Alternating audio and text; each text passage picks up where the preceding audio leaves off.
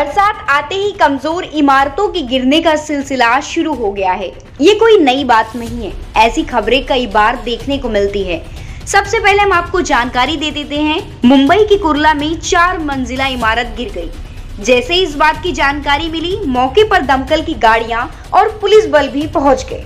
अब बात कर लेते कि आखिर कैसे गिरी ये इमारत। आपको बता दें, जानकारी के अनुसार यह इमारत जर्जर हो चुका था और इस बात की जानकारी भी दे दी गई थी जिस बात का डर था, वही हुआ। देर रात एक बड़ा हादसा हो गया, जिसमें से सात लोगों की हालत स्थिर है 20 से 25 लोगों की मलबे में दबे होने की आशंका है और एक व्यक्ति की मौत हो गई। इस घटना की मंत्री आदित्य ठाकरे को जैसे ही सूचना मिली, वे हालात का जायजा लेने पहुँचे और घटना स्थल का जायजा लिया। ऐसी घटनाओं पर दुख व्यक्त करना नेताओं की राजनीति का हिस्सा है।